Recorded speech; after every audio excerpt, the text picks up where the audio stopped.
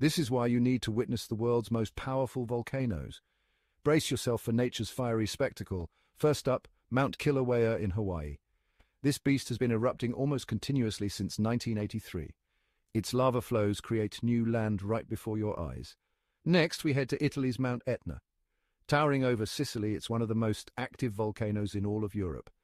Feel the ground tremble as it spews ash and lava, painting the sky in fiery hues. Now, let's hop over to Indonesia's Mount Merapi, known as the Mountain of Fire.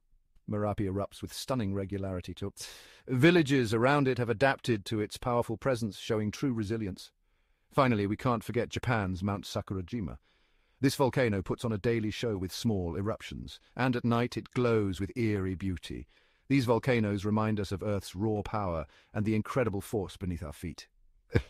so, grab your adventure gear and let's chase some lava. Thanks for watching. Don't forget to like and subscribe.